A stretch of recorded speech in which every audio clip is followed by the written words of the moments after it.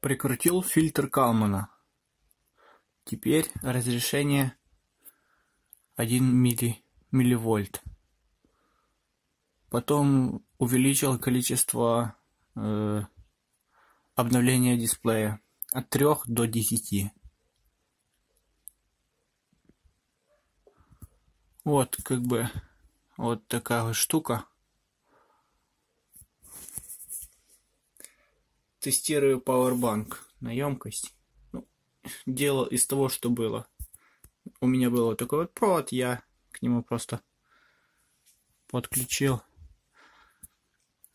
Здесь падение в этих проводах составляет около двух с половиной вольт, поэтому здесь два с лишним и здесь еще напряжение падает, потому там, наверное, пол ома.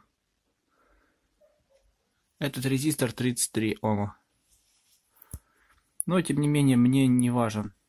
Э, не важно напряжение, мне важен ток. Точнее, емкость. В новой прошивке я уже убрал значок поделить. По-правильному будет просто ампер-часы. Также при нажатии кнопки, пока еще работает некорректно, отображает э, режим вот часы.